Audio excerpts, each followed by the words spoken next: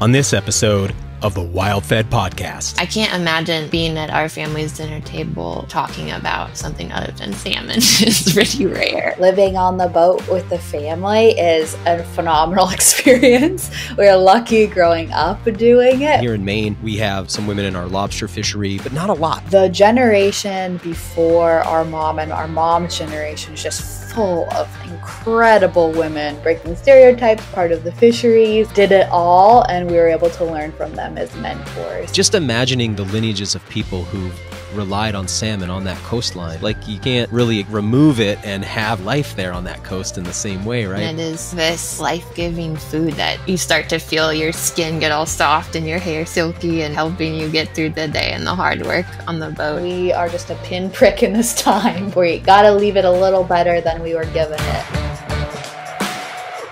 Episode 51 of the Wild Fed podcast, made of salmon. The Salmon Sisters of Alaska with Emma Laukitis and Claire Neaton is brought to you by Surthrival. Sir Thrival's chaga and reishi mushrooms are two of my favorite immune system modulating and antiviral supplements. Surthrival makes a dual extract of each, starting with wild and wood grown mushrooms, then extracting them in both alcohol and hot water and packing them in Miron violet glass, which keeps visible light out for an incredible shelf life. Unlike mycelial biomass products, this dual extract is full spectrum, functioning both as an adaptogen and as an immune system support. Right now through October 15th, the coupon code DEFEND15 gets you 15% off chaga and reishi extracts at surthrival.com. This episode's also brought to you by Earthrunners. Earthrunners are modern adventure sandals based on the ancestral human footwear design known as huaraches. If you've ever read Born to Run, you'll remember the stories of the Tarahumara, the indigenous group living in Mexico whose tribal name translates to those who run fast. They're known for long distance endurance runs, up to an incredible 200 miles in a single session, and they do it all in Huarache sandals. In fact, it was the study of these folks that spurred the modern barefoot running movement. Now you can get your own Huaraches upgraded with modern materials, including Vibram soles and cutting edge earthing technology. Every pair of Earth Runners uses a copper plug in the sole and electrically conductive laces that keep you, like the rest of the planet's animal kingdom, electrically grounded. Stay connected to your ancestry. Stay connected to the earth. Get grounded with Earth Runners. Go to earthrunners.com to learn more and use the coupon code WILDFED for 10% off your order. Hey, one last thing. Our Wild Fed hat sale ends on Thursday, October the 15th. We've got premium snapback trucker hats in field green and blaze orange. Head over to wild-fed.com and use the coupon code HAT25 to get 25% off any hat in the store. I'm Daniel Vitalis, and you're listening to the Wild Fed Podcast, a show about reconnecting with nature through hunting, fishing, foraging, and food. Wild Fed food is all around you. Today's show is with Emma Laukitis and Claire Neaton, aka the Salmon Sisters.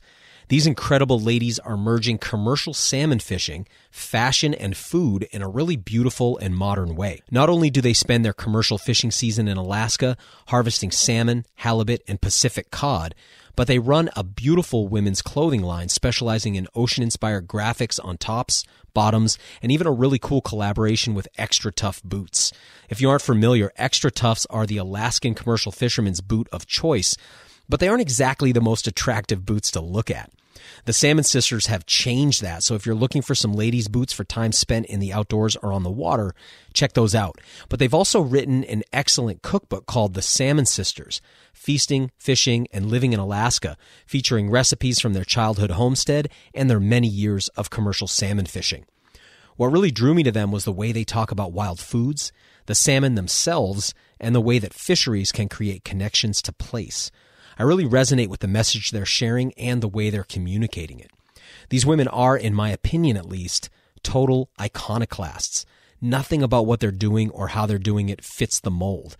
They, like so many of you listening, are part of this newly emerging narrative about how humans and nature can be harmonized and about how the food we eat and the way we obtain it is one of the most critical parts of that equation. So check this interview out and then head over to their website, aksalmonsisters.com, where you can find wild caught Alaskan fish, frozen and ready to ship, as well as some great clothing too.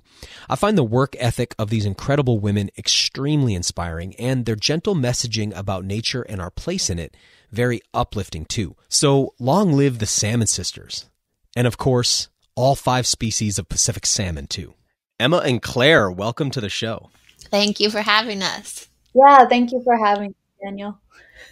Yeah, I'm really excited. You know, I just recently learned about you guys uh, in an Epoch Times article, a little feature on you, and um, I was like, oh, I have to talk to them. So I've, I've now uh, I've had the chance to look over your book. I haven't had the chance to read it fully as I just got it, but um, just congratulations on a really beautiful and unique uh, a unique book you put together.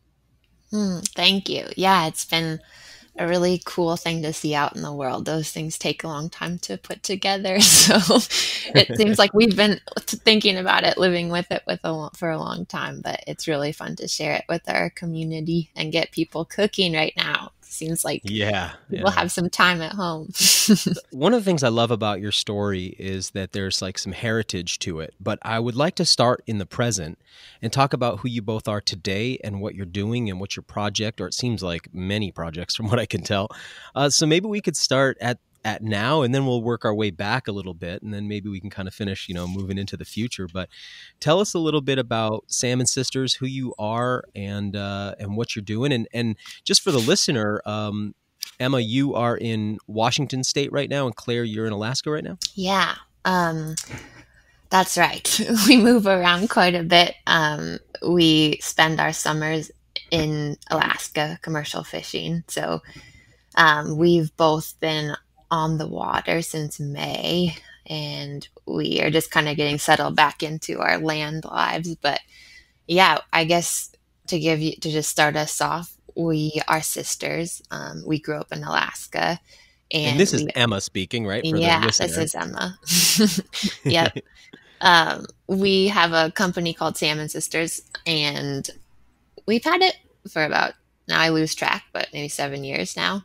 Um, we started off as a screen print apparel company and we were making a lot of t-shirts and hoodies and gear for women who commercial fish and um, clothing that represented what we do on the water. And our business has kind of grown into it, it's still that and it's also other things. So now we um, we're really proud to offer a lot of the wild fish that alaskans catch. And um, we have our cookbook, which is really exciting, and we've been kind of gearing gearing more towards food and just sharing all the wilds of Alaska with people, and um, really just excited to share our uh, livelihood on the water and connect people to that. Uh, uh, currently, I am out in Dutch Harbor on the Aleutian Islands, and Emma just left me here about a week ago um, to head home for the winter. But we yeah, Emma put it perfectly. We started a company off of just like the pride of our work and place, um, especially like growing up in the Aleutians and fishing here. And then it just transpired into like what our community and customers needed at the time. So right now Salmon Sisters is solely focused on getting people wild Alaska seafood. Um, we with our launch of our cookbook in April saw this incredible demand of people working with food, connecting to their place, um, and connecting to their families at home. And we were so fortunate. Our book came out at that time. We were able to help people offer a little comfort and inspiration through that. And then we were lucky too. Um, we were just about to start our salmon season, and we were we've been able to start filling quite a few of our like wild Alaska salmon orders to customers this late summer and fall. Um, and so, yeah, we are at a place place of rest. Like we just finally were able to finish our busy season, and this is the time where we get to dig back into our small business salmon sisters. And it's really nice to t- talk to you this time, like with reflection and yeah, just coming off a pretty busy, crazy season on the water. Um, thankful for everything it gave us. Tell us a little bit about the kind of fishing that you do, what species you're after. And, uh, you know, I'm on the East Coast in Maine, and so your fisheries out there are so exotic to me. You know, our mm-hmm. salmon fishery is is essentially gone and, and has been for some time. And, you know, Atlantic salmon's on the endangered species list here. And, uh, we, you know, we, we don't really have an intact salmon fishery. We have a ground fishery. Um, for some related species that you guys fish. But I'd love to hear about the fishery. How you know what species you're catching? How is your season? Um, what are the fishing methods you use? Things like that. Well, we are very lucky in Alaska. the salmon runs are still strong, and um, we pretty much spend the whole summer chasing them around. So um, we let's see, our family works on the water together. Um, Claire and I are on different boats in the summer these days, and I have been out in Western Alaska salmon seining with my dad and our crew.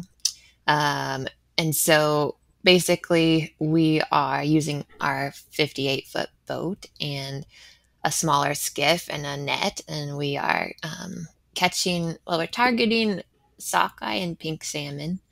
And um, later season, there's some coho and chums, and we're getting, um, yeah, fish, harvesting fish that way. In the earlier season, we are on a smaller boat um, in the Copper River Delta, and we're catching beautiful red salmon, king salmon, and mm. later season coho.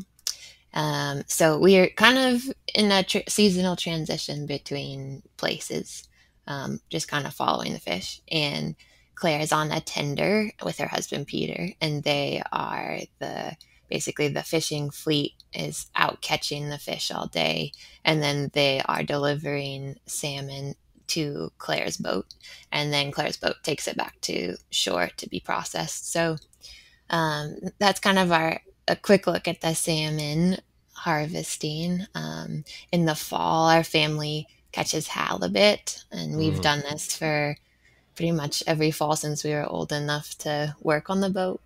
are you lo- cool. are you long lining for them? How how are you catching them? Yeah, we're long lining for halibut, and so we're on our our smaller boat, and the whole family gets on board, and it's kind of just family as crew, and we go out towards um, western Alaska, so around Dutch Harbor, and um, we spend about a month or so on the boat, depending on how long it kind of takes us to wow. catch our fish. And yeah, so we're on the boat doing that, and then in the winter time, our family's boat. Obviously, not not a month on the boat straight, right? I mean, are you you're back and forth? Yeah, well, actually we're pretty much living on the boat like from may wow. until october we do go in yeah. we do go in to deliver the fish um, when we're halibut fishing but it's usually just a day in port and you get a night you get a night yeah. in bed before you turn around yeah sometimes yeah. sometimes an afternoon yeah so where i am right now our family's boats the two of them are right here today. They're working on transitioning. They're delivering their last load of halibut um, for the year, and then they start fishing for black cod or sablefish. So they have about a month of that, and then they transition back in the new year to fishing for Pacific cod um, with pots. So the family's boats are going year round, and Emma and I participate in the summer. As she said, like we do a lot of the I don't know, like the onshore support too, like a lot of the shipyards and um, living on the boat with the family is a phenomenal experience. We're lucky growing up doing it. We're pretty well like trained, excellent communication, uh, personal space, like working together, playing together. We're good at it. Um, but yeah, we the last couple years we have been in separate places especially during the salmon season and we ha- are able to communicate by inreach so you receive these little text updates of like oh, catches oh, man. and are you good at running that inreach because man i, I find, I find I, my, my relationship with garmin i would say it's like uh, awesome hardware, really tough software to navigate. You yeah. know, like I love the actual piece of equipment, but then trying to run it, I get so I get so discouraged. I mean, I must have 15 different GPSs and inReaches and dog yeah. collars, and uh, man, they're I would say I think it's a hard let's just say long distance is hard on an inReach.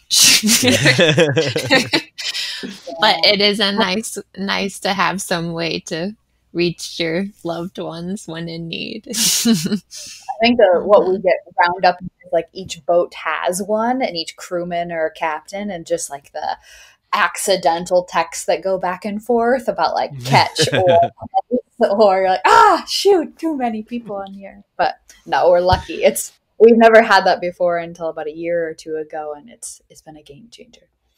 Tell me about the uh i i'm over on when i found your website because i um i love apparel companies especially that speak to um out the outdoors and and even more so you know relate to like wild foods in the outdoors and so I'm going through the, the, and I'm like, oh, I love all these designs, but there's nothing for dudes, right? It's like a very female focused company. Yeah. And I kind of stepped back from that and I was like, man, this is really cool because I think when people um, imagine commercial fisheries, it's not something you really think a lot about. I mean, I know here in Maine that we have you know some some women in our lobster fishery but not a lot you know uh, it's like a small cadre of women who are part of it uh, but i see that changing and growing really fast like it's been changing over really fast and uh, so I'm curious about that that focus on uh, women in the fisheries. Um, and uh, it seems like your team is is largely comprised of women too. So just want to give you some space to talk a little bit about that and uh, the sort of the role of women today in commercial fisheries. We are very fortunate. Um, we're only second generation. Like our parents came up to Alaska when they were in their early 20s um, and started commercial fishing. But the generation before our mom and our mom's generation is just full of incredible women that led a pretty easy path for like Emma and I's age group, this generation, and we hope to do the same. Um, there's so many women fishing with their families, and then also part of our um, peer group, so many women taking on their families' businesses or starting their own, especially in Alaska's salmon fisheries. Like a lot have pretty sm- small operations, like a single person or one or two crew, and are seasonal and have allowed them to supplement like their fishing lifestyle with teaching or nursing or with another career to make it a little bit more feasible to enter the fishery.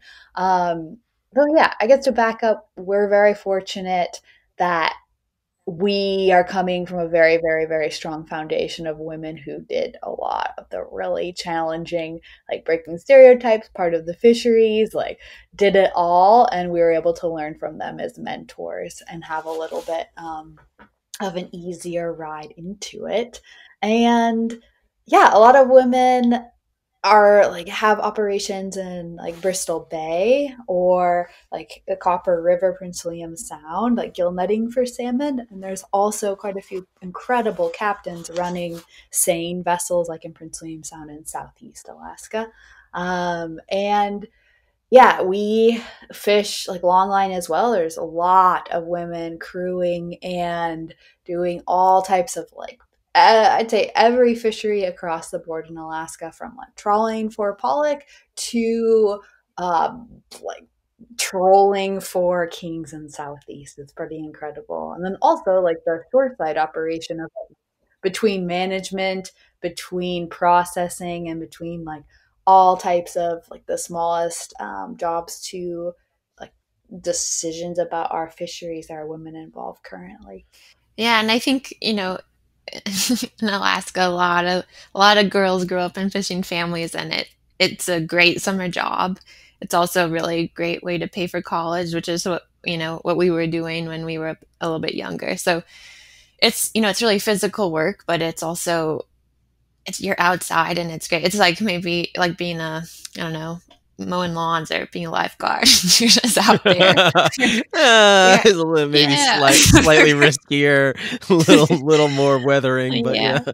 no, but I think you get you know growing up with it, you get used to it, and um, some some people choose to keep doing it and take it on as their full time profession, um, and it's just really I think it's just been really fun for us to see like the women in our industry um, just become more connected and visible and just to have salmon sisters to celebrate them uh, i think it's just been really cool to see fishermen and also you know we have in alaska we our fisheries are um, so many different people. We have people at, um, you know, like the fisheries biologists, observers on boats. Everyone's, you know, you see them out wearing Salmon Sisters gear, and that's really, really fun Oh, to just yeah. have, you know, have something that's very specific to their work and work on the water to wear. And um, yeah, it's it's been really fun to find people through it too, and just feel more connected to our community of women and um, yeah, just get and also just get ladies who are um, in Alaska and outside Alaska, um, all you know, connected to salmon and the water and the places where they can go explore and wear our gear and um, yeah, it's awesome. It's pretty fun.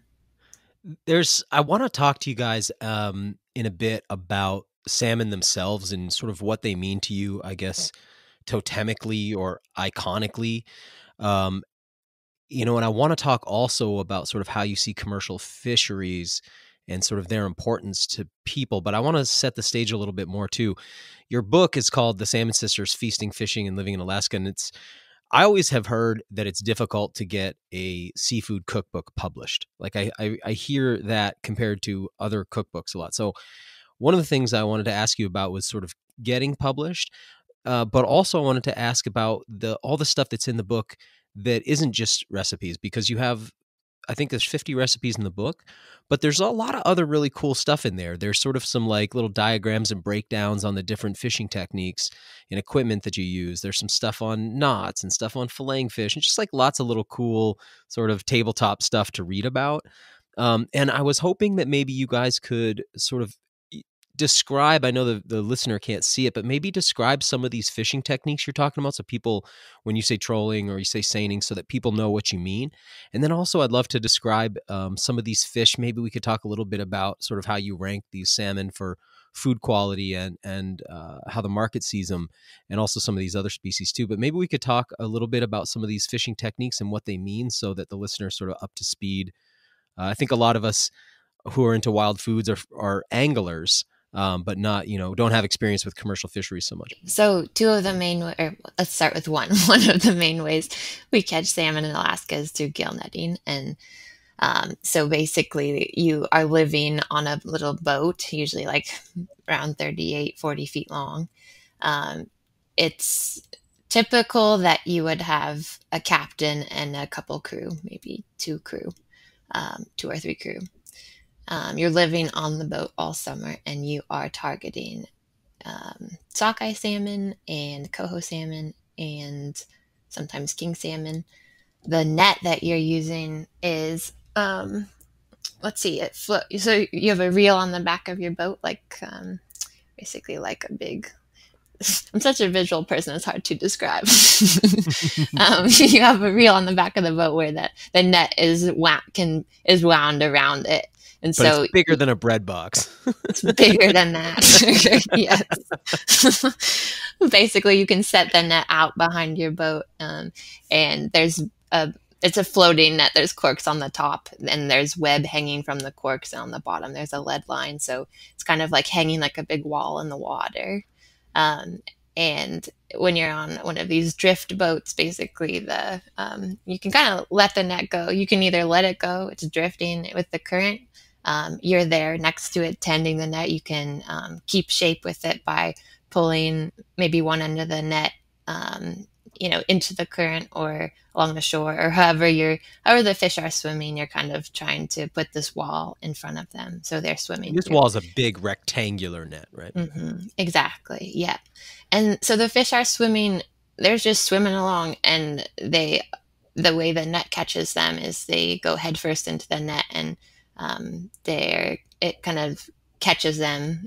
And so when you're, then you're pulling the net in back onto the reel on the, onto your boat and you're picking each fish out individually. Um, and so, yeah. And then so your And they net get, comes they the get, way they get in on. there about they get into that net about up to their like gill plates and then get kind of Yeah. get caught up in that, right? Exactly. Yeah, because then they get a little bit wider when they get towards the middle of the fish. So that's usually you're picking them out, like their heads are stuck in there, and you're just picking them out like that. And then they carefully get put onto ice, and then into your fish hold, and then they are delivered later. Um, at the end of the day to a tender. And what else is cool about gill netting? Yeah, it's just a nice lifestyle.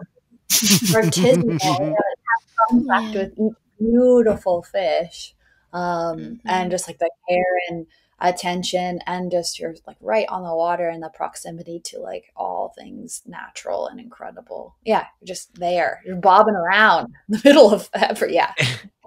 with this movement towards like um, fish that have been cared for a little bit better on their way to market is gill netting uh, compared to seining let's say are those fish in better shape when they get onto the boat um, or go into the hold uh, or like sort of where would you rank gill netting as far as like the impact on the final quality of the fish i guess Mm-hmm.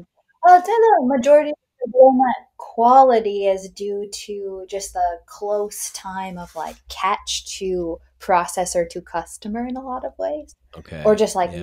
Like incredible like that supply chain. Um, like fish coming aboard with both methods, I would say are equally ranked in like like quality and care coming on deck. And like they're going into ice or refrigerated seawater immediately. And like here's your beautiful food. And like it, like people are taking such excellent care knowing that is happening. But then just like the transition time between like a lot of gill netters are able to like or trollers are able to like pressure bleed their fish or have this incredible like blood out perfectly like head and gutted going to market like that direct connection maybe to um, like a chef or like a csa where maybe some of the larger like seine operations are in such remote parts of the state like those logistics Ah, aren't yep. they yeah. Got it. And just those that in like balance of gill netting you might have like a more set schedule administered by Alaska Department of Fish and Game where you could seasonally run that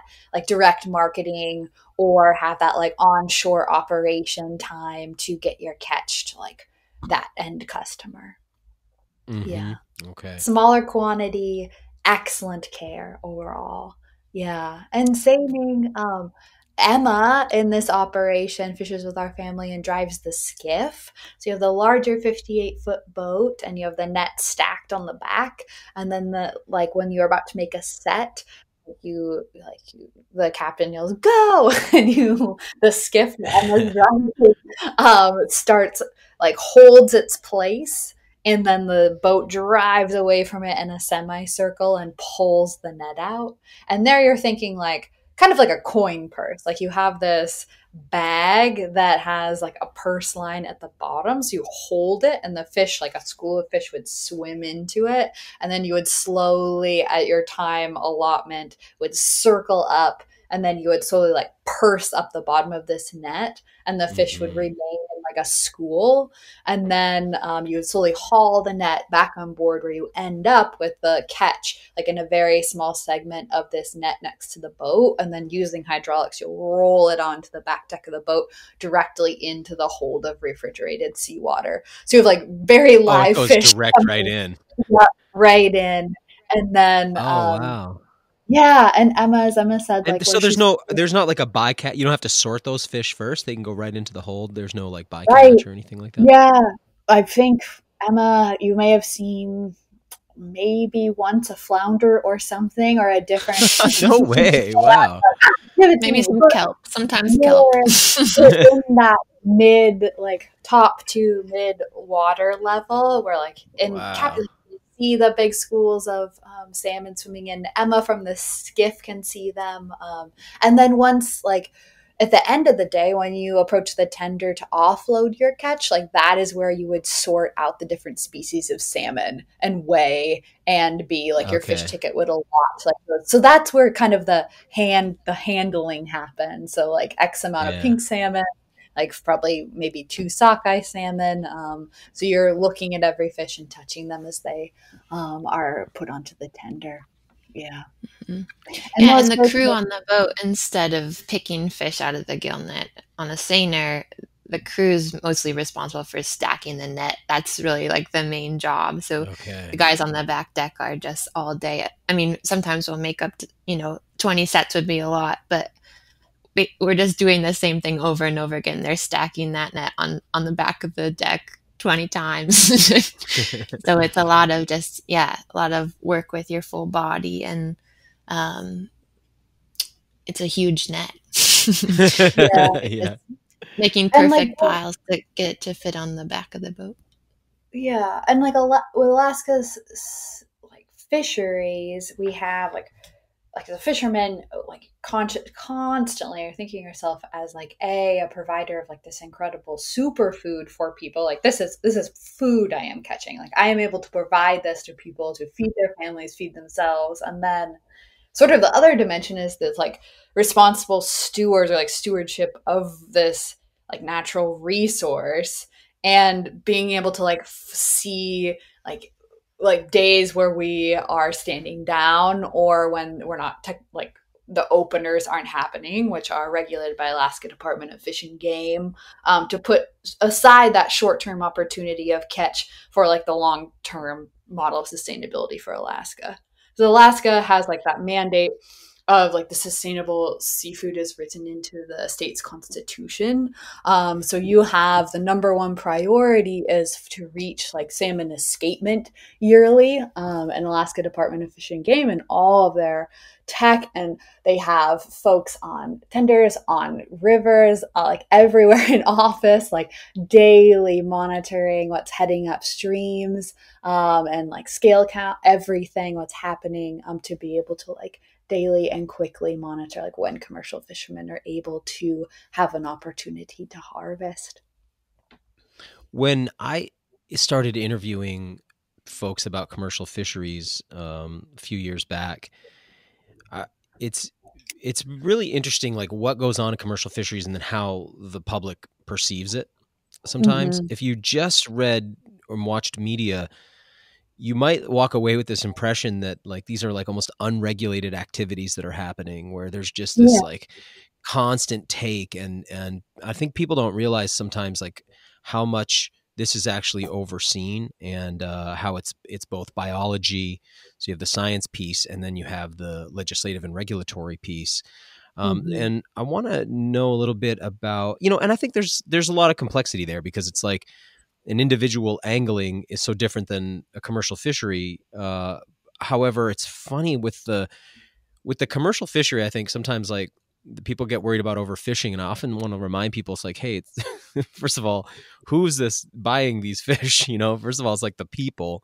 who are eating mm-hmm. the fish in place in times and places where there's been overfishing it's like not the fishermen as much as it's the people who are paying for it but but then here in the united states i think we just have this amazing conservation system and not everybody understands that so i'm wondering a little bit about when you guys growing up what the fishery was like and what the regulatory system was like and then how you've seen that change over the years both with the runs of fish themselves and then also with the regulation and then kind of where it's at now because uh, I'd love to paint a picture for people of how this is overseen, uh, lest anybody who's out there who hears you know stories about salmon decline and things like that, lest they think that there's this sort of um, you know kind of excessive take that's happening.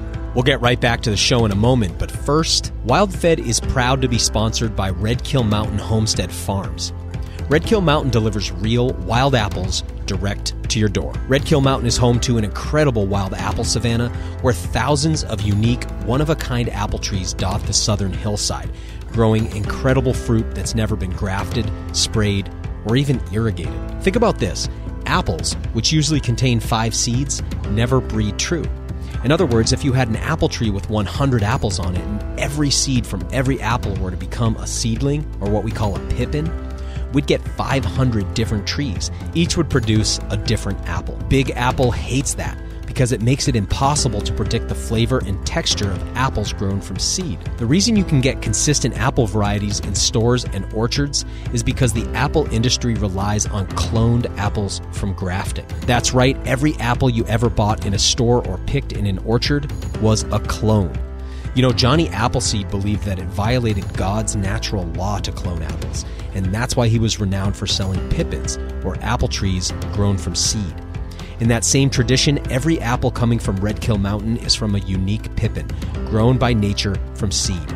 These are pure, wild fruits. Red Kill delivers these apples direct to your door in two ways as a wild apple box and a wild apple cleanse. The wild apple box holds about two pounds of unique hand-picked wild apples, and the Wild Apple Cleanse contains about three pounds of hand-picked wild apples. If you've never tried real apples, apples as nature intended, you owe it to yourself to give them a try.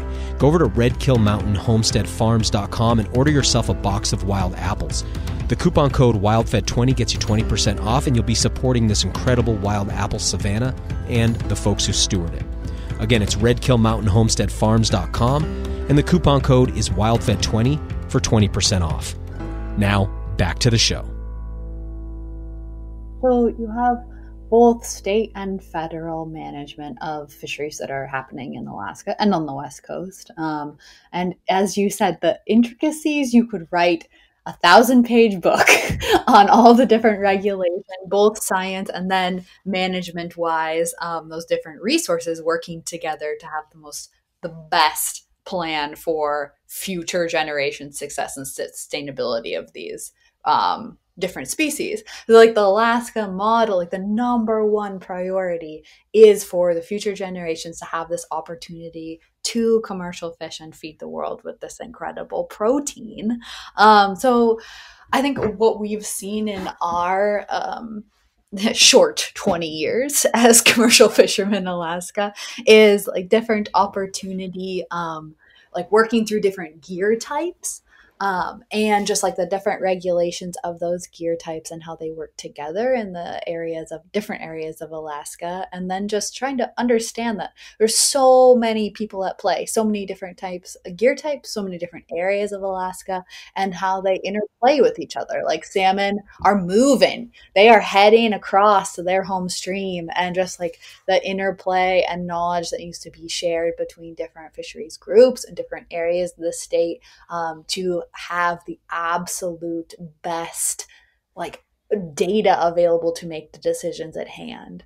And like Alaska, like facing it's like warming waters, different like ocean acidification. Like we, are targeting like wild species that are moving and transitioning and adapting to climate change and different like like different user groups targeting them and all things. Um, so yeah, I was saying, sorry, I'm going off on a tangent here, but what we Please, have t- tangents like, welcome. okay. In our lifetime, um, it's it's funny. Like thinking about our lifetime is like 20 years on a boat is so short in the grand scheme of things. Like we are just a tiny, tiny like pinprick in this whole like just in the next hundred years or 200 years of fisheries mm-hmm. in Alaska. And I think what what the biggest advantage we've seen is just increased like science and fishermen helping that scientific like capture on the grounds like between like observers on boats um like fishermen taking like scale samples fishing game helping. puts observers on on your boats you're saying yeah different regulatory agencies puts has observers on boats who are constantly collecting data um, and then just different like everything from like weather buoys to like tagging systems to just like a much better understanding of like where things are moving what things are doing different mm-hmm. surveys um, etc and that has drastically increased over the last um, our lifetime with just like funding due to those projects um, you know out, out here, Claire, we have this lobster fishery, and the fishermen and the biologists are working together really closely, and and there's mm-hmm. this really amicable thing going on where the fishermen believe that the regulatory system is working in their favor.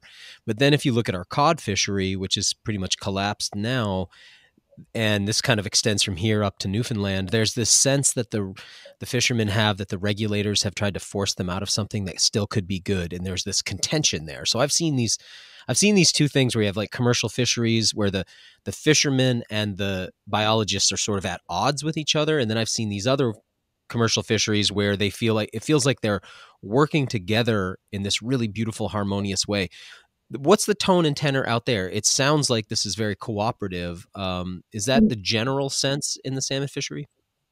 Yeah, absolutely. Cooperative with the same like regulatory fisherman biology aspect. And then also we've seen an uptick in like cooperation between user groups around the state in the commercial sector and also between user groups of like personal use, subsistence, commercial, recreational, like that.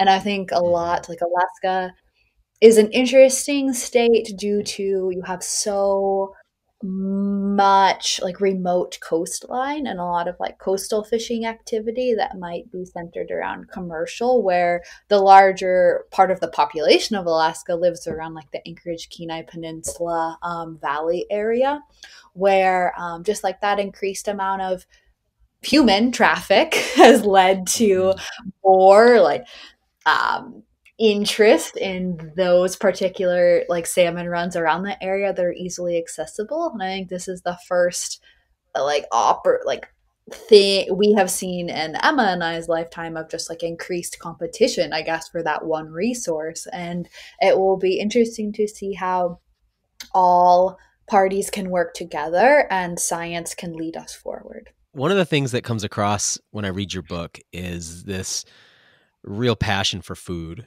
Uh, also, it seems like the second half of the of the recipes are are a lot of like stuff that you grew up with, not just seafood recipes, but sort of like homestead recipes. And there's this communication about passion for food. And so I want to hear a little bit about the food component for you, what it means to be harvesting food that you know is going to be eaten by the people, what how you feel about salmon themselves as a food. Just you kind of were talking about it being this beautiful protein. I'm just curious, like how you feel about that whole component. You know, looking at it outside of the fisheries part and looking at it from the culinary side. hmm Yeah, well, I think salmon makes it pretty easy for us to just love all all parts of it. I mean, it's kind of I think as you you mentioned before, some you said the word totemic, and I think that would aptly s- describe salmon to us in our lives. And hmm um, you know, it's been the the animal and the thing that has sustained our family in so many ways, whether it's through our work, um, through our food, through just I mean, like through connection to the place where we live and to Alaska and our community of fishermen.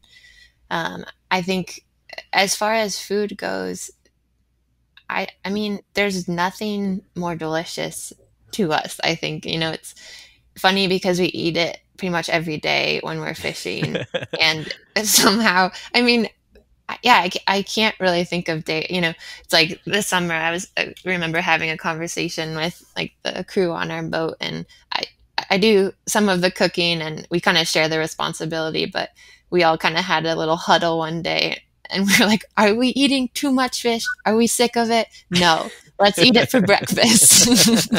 I think it's just it's so. I mean, it's straight straight from the ocean, and it is fresh, and it is just kind of this um, life-giving food that feels like it's you know like you're you start to feel your skin get all soft and your hair silky and that like Oh, salmon yeah. oil in your you know everywhere just like helping you get through the day and the hard work on the boat. And I, I think it just you know it makes you feel good. It makes us feel super strong and healthy. And um, we're really lucky to be so close to the source. But i think in our lives we've it's also been you know our family's tradition and the way that we spend time together. So you know we work on the boat like grew up working on the boat with our parents and we grew up smoking salmon with our mom and she would set a little net out in front of our house and get a few to just stick in her smoke every day and that tradition is you know that as well as canning and jarring fish and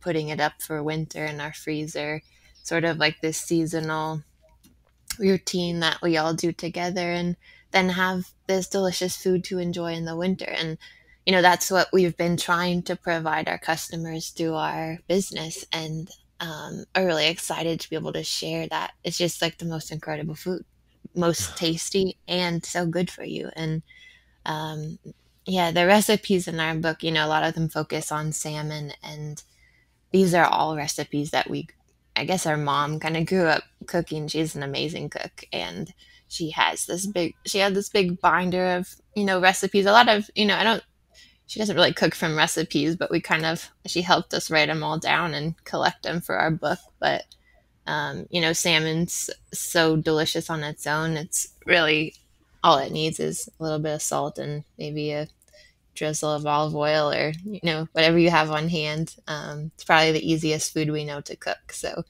a lot of that, you know, the idea behind that is hopefully trying to get that across in the book is that you don't really need to do much if you have beautiful wild ingredients. And um, yeah it's just the food that's really connected us to our home and yeah the people around us too. The connection to people and place and community and all the things but also like another level layer of like salmon need people to champion them like to protect their habitat and have like a clear way home um, and to let them do like everything incredible they're doing upstream for our ecosystems as well.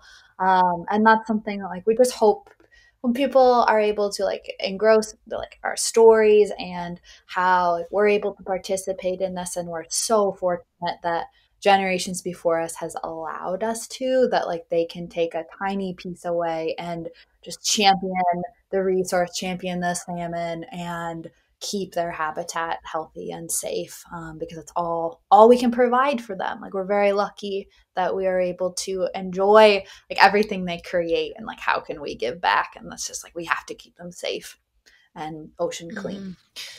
yeah and i think the way that we try to communicate that is just through you know like one of the easiest way to understand that is through your food because then you have that direct connection to where you know, like where does it come from? What does it need?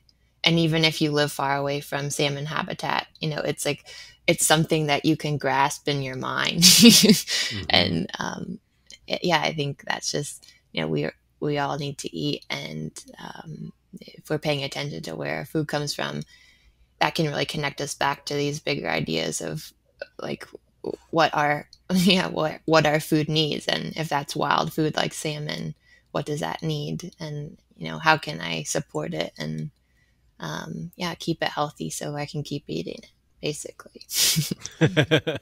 There's a well a couple things i want to say i i'm interested to imagine alaska over the last you know i don't know 15,000 years. Uh, yeah. let's say the first sort of people who crossed over the Bering Land Strait. And I want to say everything I'm about to say, like, well, let's like completely remove all of the racial politics and tribal politics and colonial politics and all that stuff because it, it, it's obviously extremely important but it also makes it hard to tell the story eh, the way I want to mm. kind of put it out there it's like just imagining the lineages of people who've relied on salmon on that coastline for the last 15,000 years and how they've changed, you know, from the people who first came over to the tribes that were there later to eventually there being sort of Europeans over there and just and Russians and and just the idea of like you guys said you know 20 years is not that long and it's not when you look at 15,000 years I'd say 20 years is enough time to develop mastery but it's neat to sort of see that like you said totemically over time that this fish has become is the sort of means of survival on that coastline in a way I guess like you can't mm-hmm. really ex- like remove it and have really a life there on that coast in the same way, right? And there's this part of your book, you have a, a, a section with the header, it says made of salmon.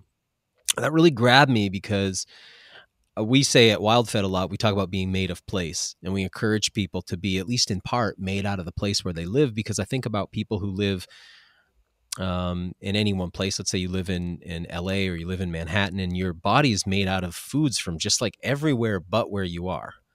You know, mm-hmm. foods from the most far flung places, and your body, even the water a lot of people are drinking, is coming from far away.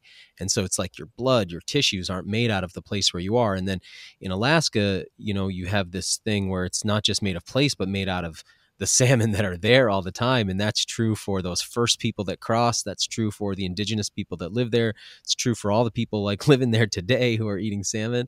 I just think this is really fascinating that this animal is so totemic. So talk to me about sort of being made of salmon. Like, like, can you even really see yourself separate from salmon in a way. Does that make sense? It's like hard to almost pick apart where you end and salmon begin if you're eating it that much. Is that making sense what yeah. I'm trying to say?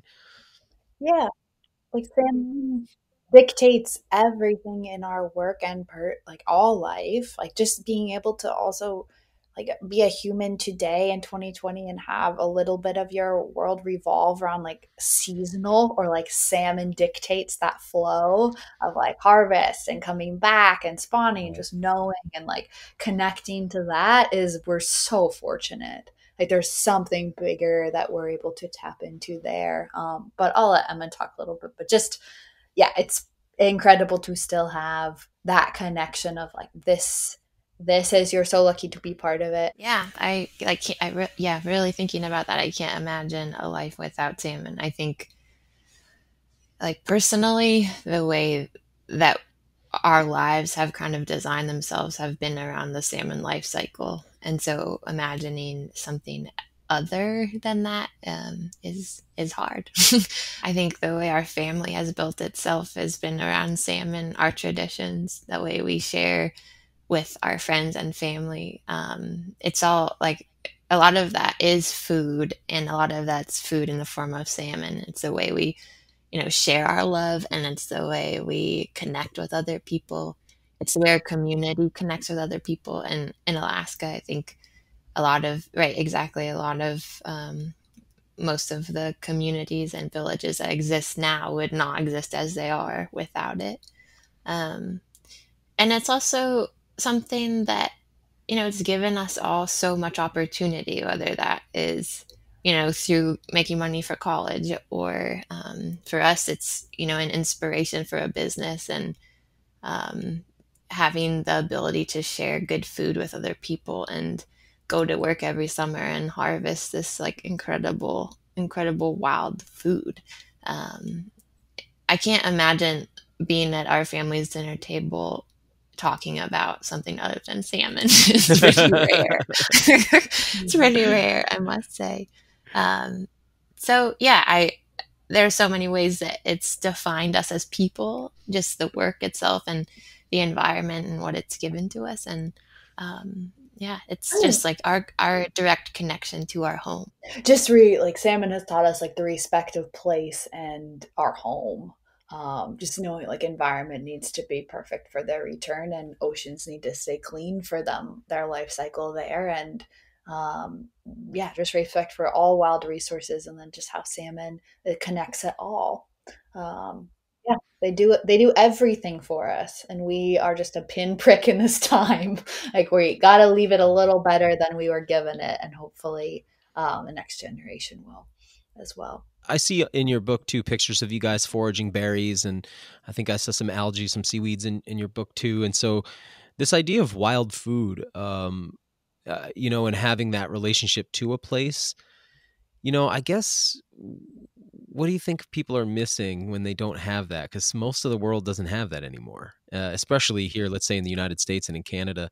So, and maybe you guys being in Alaska, I don't know how much that sort of how how removed you are from that part of it i'm not really sure but like here where i live in maine i think people often imagine that maine is remote but it's like i you know it doesn't take me long to be at home depot or old mm-hmm. navy or something so it's uh so you know being connected to wild foods here it's almost like just almost like being part of like this secret society or something you you know something that other people don't know you have a relationship to the environment that you hear everybody talking about. Everybody's talking about the environment all the time, and you're like, "Have you been to the environment before?" Like, you know. Um, and so, I, for me, eating wild food and being made of it makes me. And I think we were sort of, you guys were sort of dancing around this topic a second ago. It's like it makes there's that stewardship thing suddenly becomes really real because one, you have skin in the game in the sense that the foods that I love and care about and eat I need these places to be intact and these species and their life cycle to be intact.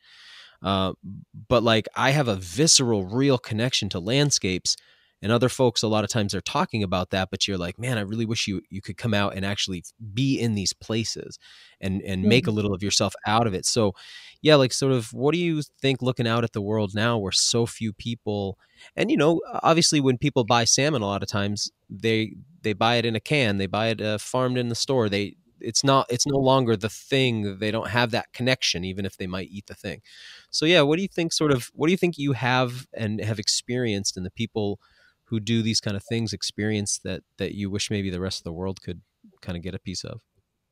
Yeah, I mean, it, it comes back from being a human, and humans are meant to be outside and live slowly and mm-hmm. pay attention and seasonally. Like just going back to our instincts of like hunting and gathering, gathering especially like just that like wave of calm and wave of like being present and like the best way to live just comes from like wild harvest. And we've seen in our own ways of like to lead a fulfilled life, a big part of it for us is to be so connected with the land around you and to pay attention um, and be a steward of that. Uh, and that, like, I think people are a little misled in a lot of ways by like wild food. They think it has to be this glamorous, like, fancy thing where like wild food can be the fiddleheads like growing outside your garage door. Like it's like mm-hmm. there's a yeah, a lot of times they are. yeah, like and you care and steward like you're a steward for that, and you take great care of your property to allow like that's that's like right culvert for salmon habitat or just the little things like that makes a huge difference and just ownership and connection of what you can give back to the world is huge yeah Mm-hmm. Yeah, I agree, and I I also think, um, you know, one one benefit is that it's free food. Most some very delicious things come for free. Um, I think a lot of like in my experience, I think just like getting outside and being, as you said, in like this relationship with plants and animals around you does in a way make you feel um, you know, like I don't know if I want to say like less alone, alone, but I think um, just knowing that you know it's like there's so much, so many living creatures out there that are in the world that can be like you can have a relationship with, and whether you're you don't have to talk to them, but just noticing them, I think is um, really special. And you know, I think when you're like walking through the woods or you're on the beach looking for kelp or um, it, it, really allows you to slow down a little bit and see things differently. I feel like um, you open up your senses and your ears are actually listening. Maybe um, you're seeing things that if you were, you know, t- talking on the phone or you know whatever it is, uh, you don't always you're not tuned into. And I love that about it. Um, I think it gives you that connection to actually notice uh, yeah. what's in your home around you and yeah listen and feel and, and then, get outside which is the best yeah definitely once like you have that wild harvest like you connected to the places you've traveled to obtain it and then like working with it in your kitchen and working with your people and that education of like future generations is I think key to everything like humans want like in community and food and just lifestyle we've definitely seen like that aspect of learning from our mom about like different like edible plants and how you can um, like save them for winter or just that seasonality has been huge for like our personal development and our family as a whole just our connection. I, I really like what you guys were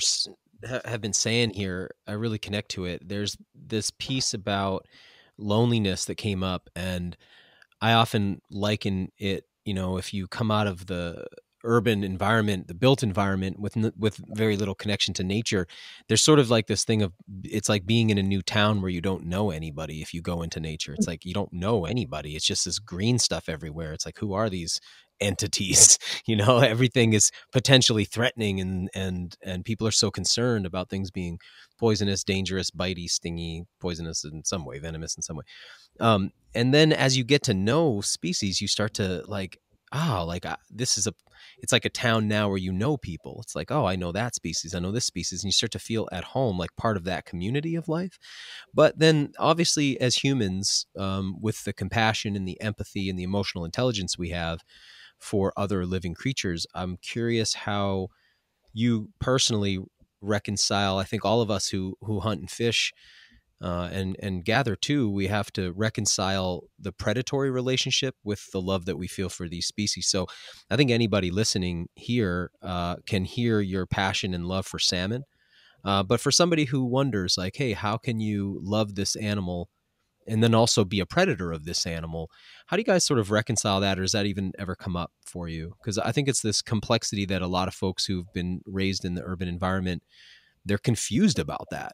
You know, Yeah. it's like, um, and we see uh, such a big push now um, for this idea of hey, humans shouldn't eat anything that has to die for them to eat. and It's like, well, that's not going to be possible. So, so yeah, how do you reconcile that for yourselves? it's all about respect, I think. Um, we obviously really respect salmon as a animal and a species, um, and I it's kind of this idea of an honorable harvest. I mean, it's um, a life is a life is giving more life, and um, just caring for that life and respecting it, and also using it in a way that is um, like with a salmon, we use all of its parts and we make sure nothing goes to waste. Um, and it's it's kind of just um, yeah. I think there's uh, I think there's just like this way to treat your food that um,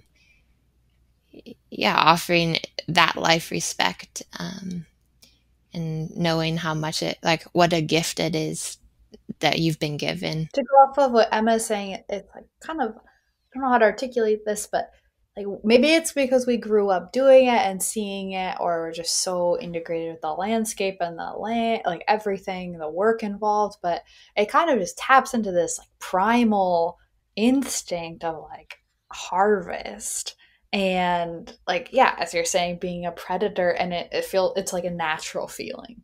Like you, it's hard to like justify it. It's like this is what we were meant to do is like capture this. And then as emma's saying like respectfully like honor it because it was so challenging to like achieve in that way. It took like everything we had. And then be able to like honor it and share it. It like feels very natural but with you when you look at it at like a higher level you're like wait you love and care about this so much. How can you kill it? It's just this like funny yeah it's hard Yeah, it's it's also like it's poignant and it's beautiful and it's like part of the human paradox. Mm-hmm. But I, mm-hmm. I agree because the fulfillment that you get, there's a sense of like, yes, this is the right thing, and I can love this animal, and I can predate upon it. And obviously, when you predate upon something, you don't want it to go away. You have more.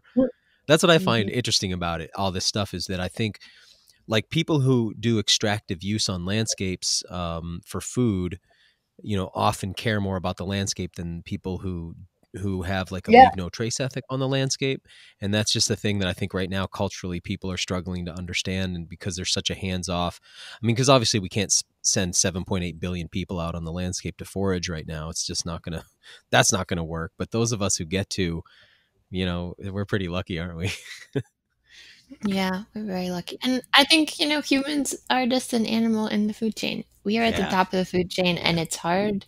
I think and that that becomes kind of the difficult part where um you know, everything else is so connected where like if I don't know, like what can we give back? And and that feels like the hard part. Like um salmon might eat krill and the salmon might feed the trees and the tree benefits but how are we benefiting anything? And that's the big question. And so i think that makes it hard to um, yeah feel okay about taking another animal's life or um, you know harvesting from the wild. I think and all we have to offer and can like the most we can do is offer that respect and um, i think honor those lives.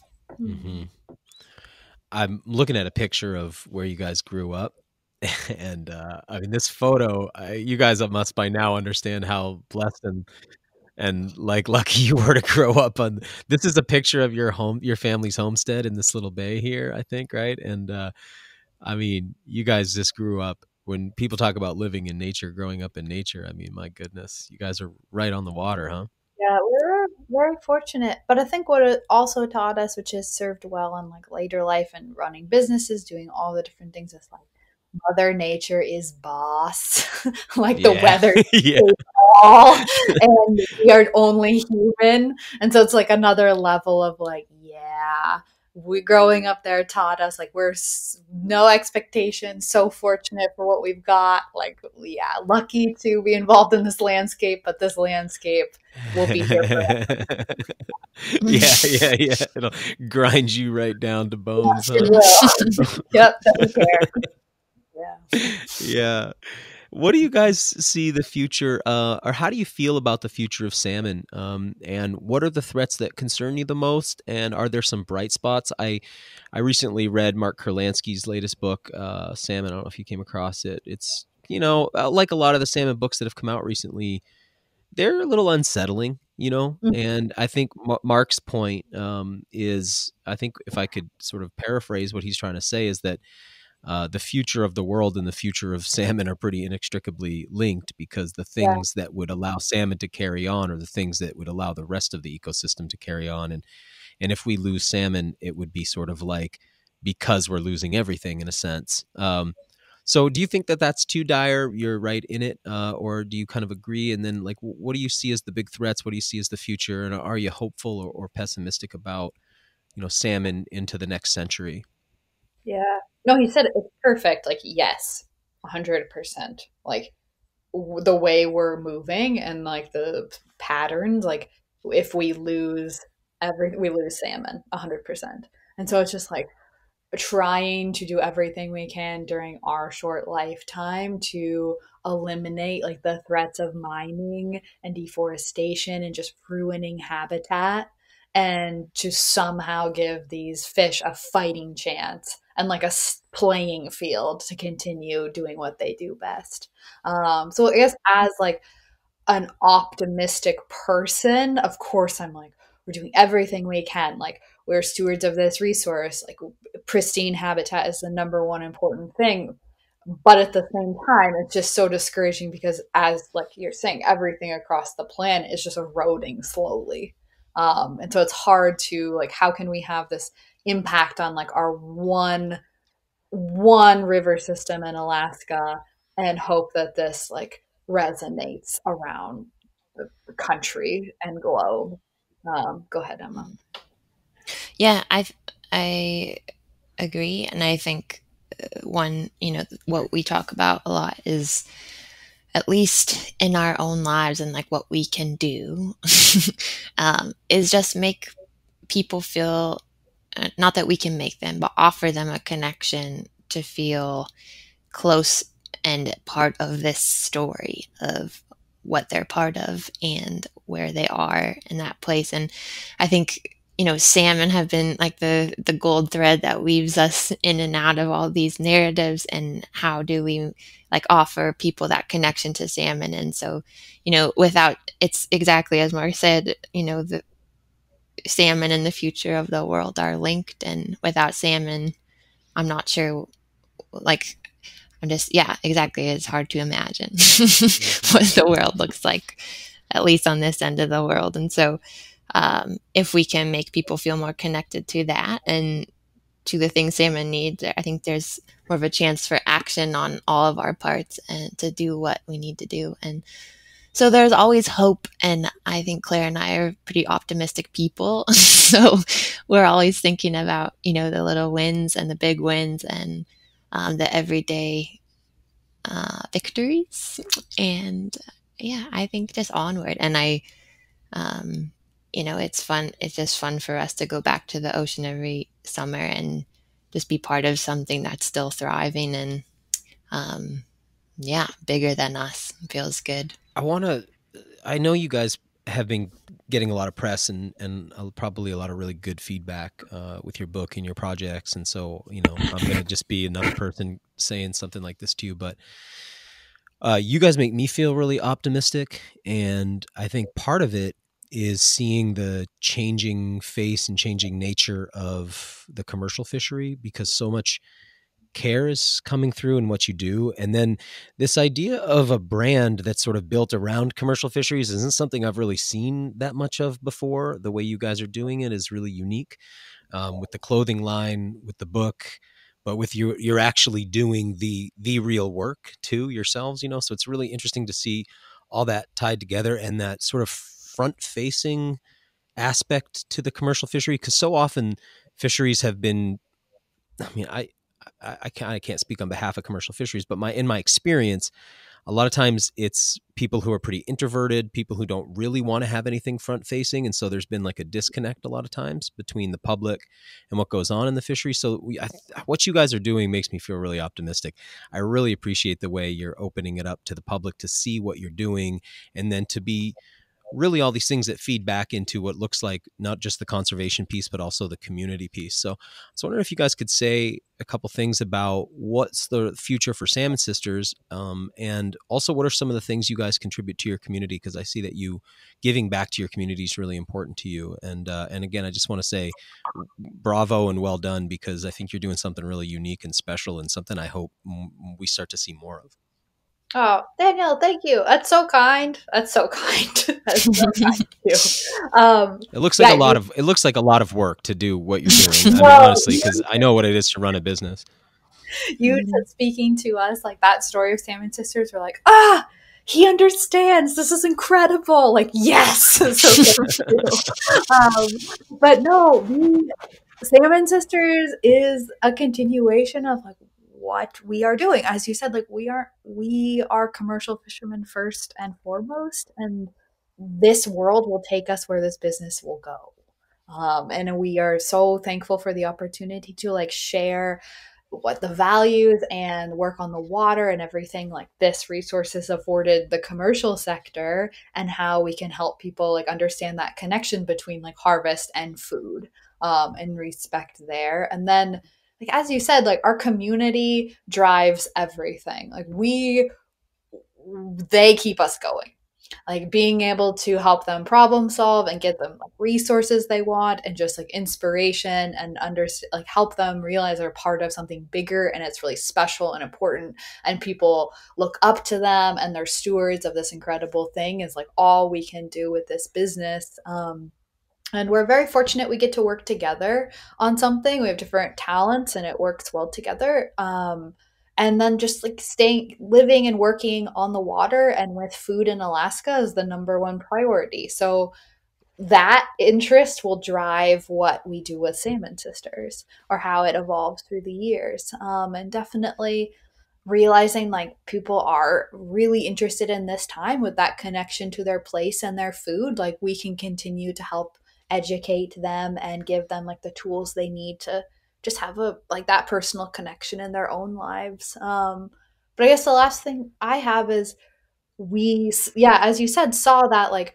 how can we help people understand like what commercial fishermen are doing and their importance in this whole world um, and we, we've been able to work with our seafood processor to donate like wild Alaska salmon to the food bank of Alaska. So just getting that like super food that commercial fishermen are lucky to be able to catch to those who are most in need. Um, that's been the most rewarding thing we've been able to accomplish with our business and just inspire others to donate um, product time or find their own little ways with any small business to give back.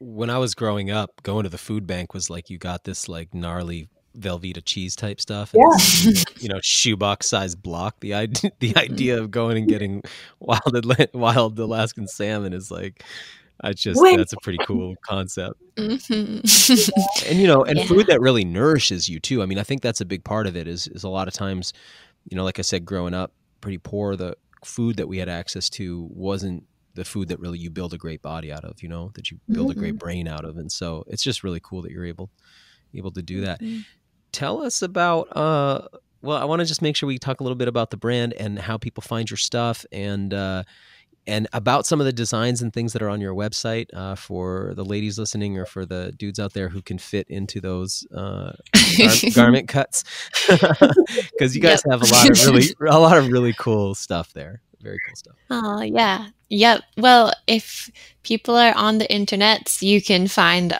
us at aksalmonsisters.com. Um, you can find gear and also wild fish there from Alaska. And you can find us on Instagram and Facebook at AK Sisters. Um, and we're on we're on there a lot. We have a blog up that tells stories, and we have a newsletter that we send out. Um, because that doesn't take up any time. I, I like, how are you? How are you have a commercial fishing gig and then you no. do all of that? I mean, it's so much like keeping up very free flowing, keeping up with the blog. yeah, we fit it in when we can, but it, yeah, it's it's a very natural fit for us to work. You know, it's as you said, we're living the life, and then when we have some downtime, it's pretty easy to tell the story. So yeah, we're very lucky that our work our world of work all gets to fit together so nicely with family and fishing and eating good food. So, yeah. yeah. Um, yeah, and our cookbook is full of delicious recipes from our family, and a lot of they're really simple, easy, and um, I think you know a good a good place to start if you're not used to cooking fish at home. And um, you can find some salmon on our website too, and easy to grill, easy to throw on the grill, or cook in the oven, or just um, eat. You know, cut up and make a poke or some sushi or something yeah. fun like that. Yeah, and even mm-hmm. if you're not looking for you know necessarily dedicated recipes, I think the book is just a great read anyway. It's really it's yeah. just full of a lot of like interesting stuff and uh, fun stuff for people who want to know a little bit more about that world out there. So uh, just yeah. great job. Is there anything that uh, while we have some time left, is there anything either of you uh, maybe didn't get to say that you'd like to say? No, just thank you for taking the time to talk to us. It's such a nice, such a nice opportunity, especially talk about our summer and the book and all things Salmon Sisters. It's great. Yeah, wishing you the best and all of Maine too. Yeah. Yeah. thank you. yeah, thank you so much, Daniel. This is great. Well, I just think you guys are doing really um, really really valuable work in the world and really honest work and uh, you come through with such a clean energy that it's it's apparent that you guys are walking out the kind of i don't know something that inspires goodness in people. And so that's i think we need so much of that in the world and so you guys are great inspirations for that. So thank you so much and thank you for your time today. Thanks for listening to the wild fed podcast. You can help us grow the show by subscribing and leaving us a rating and review it ensures better rankings and more advertiser interest, which translates directly into better shows, more awesome guests, and a constant stream of fresh, new content. Have a question you'd like answered on the show, or a hunting, fishing, or foraging trip you'd like to host us on? Email us at info at wild-fed.com. And be sure to visit our website, wild-fed.com, to check out the Wild Fed video show and store. Wild Fed Food is all around you.